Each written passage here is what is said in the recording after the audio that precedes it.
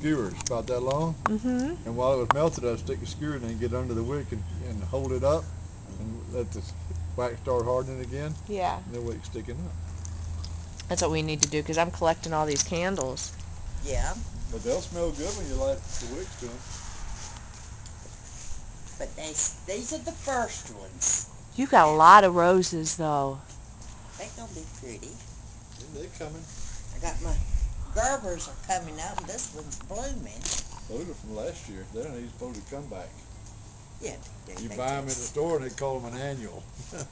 Really? but as you can see, they're all coming back. They never died off, huh? Uh-uh. Yep, they died down. The Well, they died down. The, didn't the roots die. didn't die. Right.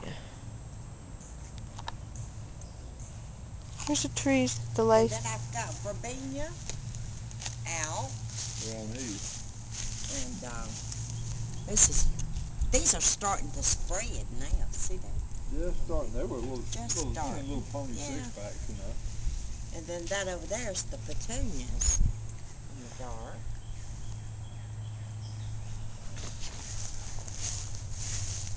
Okay.